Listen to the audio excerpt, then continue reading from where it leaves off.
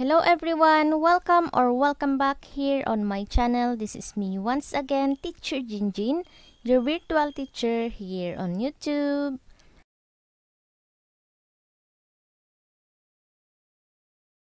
Kung bago ka pa lang sa channel ko, gumagawa ako ng mga Tagalog tutorial videos mula grade 7 hanggang grade 11. Kung interesado ka, please like, subscribe at i-click mo na rin ang notification bell para ma-notify ka kapag may bago akong upload na video. Kung hindi mo pa napanood yung learning test number 1 hanggang number 4, i-click mo na lang dito sa taas or hanapin mo na lang sa playlist natin. Okay? So, ito ay part 2 ng learning test number 4 which is the word problems. Reminder, iniibahan ko yung mga given upang sa ganon ay subukan ninyong isolve yung nasa module ninyo. Okay? Dito sa number 1, if the area of the rectangle is given by the polynomial 2x squared minus 15x minus 8, what is the dimension of the rectangle in terms of x? So, ang given dito ay 2x squared minus 15x minus 8. Take note that the area is equal to the product of length and width, so the binomial factor of the equation represent as their length and width. Ang area ng rectangle ay length times width. Kaya ang magiging factor natin, yun yung magiging length at width natin. So, ano nga ba ang factor ng 2x squared minus 15x minus 8? Using the AC method, I-multiply muna natin yung quadratic coefficient na 2 at yung constant term na negative 8. 2 times negative 8 equals negative 16. Ngayon, maghanap kayo ng factor ni negative 16 na kapag inad ninyo, magiging negative 15. Since negative yung nasa middle term, ibig sabihin, mas malaki dapat yung negative na number. Maglagay muna tayo dito ng space na paglalagyan natin ng factors ng negative 16. So, ito yung mga factors ng negative 16. Negative 16 times 1, negative 8 times 2, negative 4 times 4. Ano yung sum nila? Negative 16 plus 1 equals negative 15. Negative 8 plus 2 equals negative 6. Negative 4 plus 4 equals 0. So, alin dito ang factor ng negative 16 na ang sum niya is negative 15?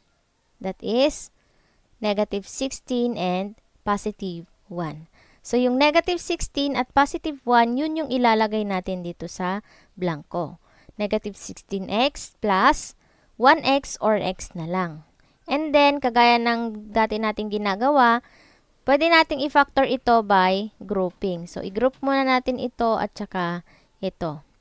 Next, ang gagawin natin dito para ma-factor natin, i-factor natin by GCF. Ano ba ang GCF ng 2x squared at negative 16x? That is positive 2x. So, ilalabas natin si positive 2x, ano yung matitira sa loob? Para makuha ninyo, i-divide nyo lang yung first term dito sa GCF niya at yung second term. And that is 2x squared divided by 2x equals x. Kasi makakancel ito. Then, 2 minus 1 equals x isusubtract nyo lang yung exponent niya. Next naman yung second term na negative 16x. Negative 16x divided by 2x equals negative 8. So, yung matitira sa loob ay x minus 8.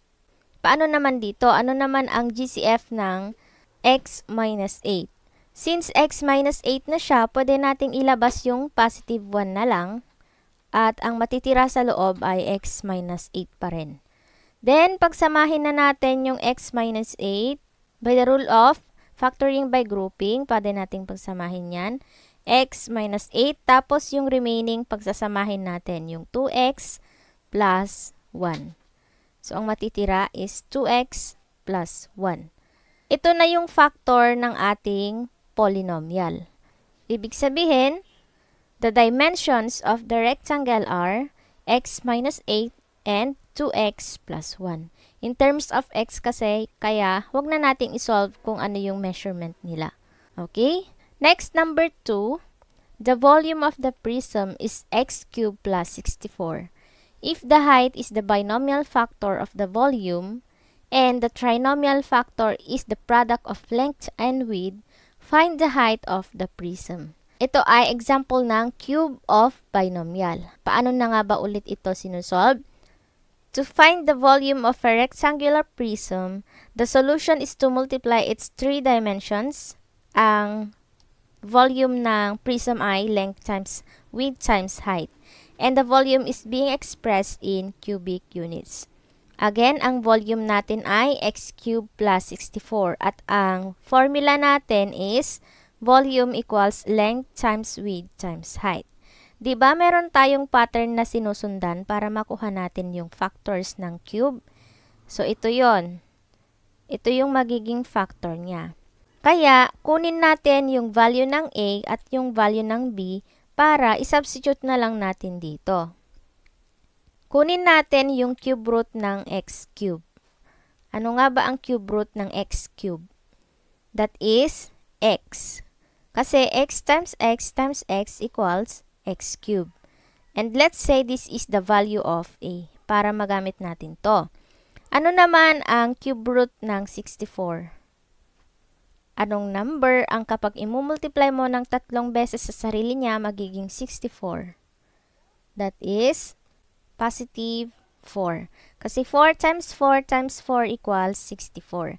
And let's say this is the value of b. Ngayon, meron na tayong A, meron na tayong B, pwede na nating i-substitute dito sa pattern natin. So, ang A natin ay X, kaya lalagay natin dyan, plus ang B naman natin is 4, times, ang A natin is X, then squared, minus A times B, plus B squared, kaya 4 squared. Then, simplify natin, That is x plus 4, then x squared minus x times 4 equals 4x plus 4 times 4 equals 16. So, ang sabi niya dito, yung height daw is the binomial factor. So, ito daw yung height niya. And then, yung trinomial factor naman is the product of length times width. So, let's say this is length times width. Ngayon, ang tinatanong, find the height.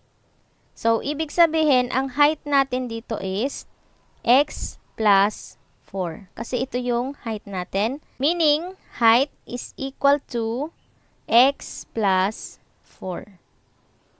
So, ito yung final answer.